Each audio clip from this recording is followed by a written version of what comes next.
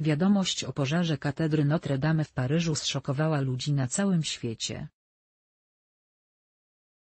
Ogień, który wybuchł w gotyckiej archikatedrze i trawił ten monumentalny zabytek, udało się opanować strażakom w nocy 16 kwietnia 2019 roku.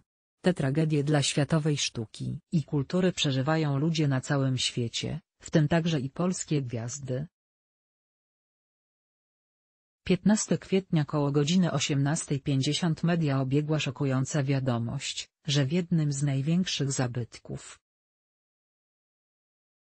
nie tylko Francji, ale całej Europy wybuchł pożar, który z minuty na minutę rozprzestrzeniał się i zajmował znaczną część katedry.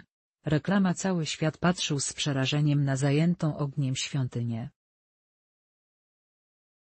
A gdy upadła charakterystyczna iglica, wszyscy wstrzymali oddech.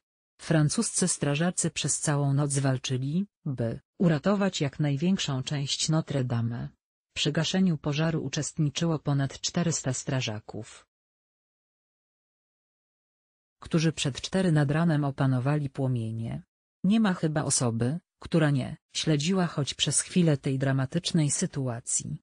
Tragedię Paryża przeżywały polskie gwiazdy, które licznie komentowały to wydarzenie.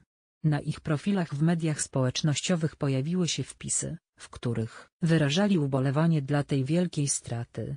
Natalia Kukulska i Oliwier Janiak posłużyli się obrazem Zdzisława Beksińskiego z 1985 roku, który przedstawia właśnie słynną katedrę. Lądujesz w Mediolanie mieście kultury.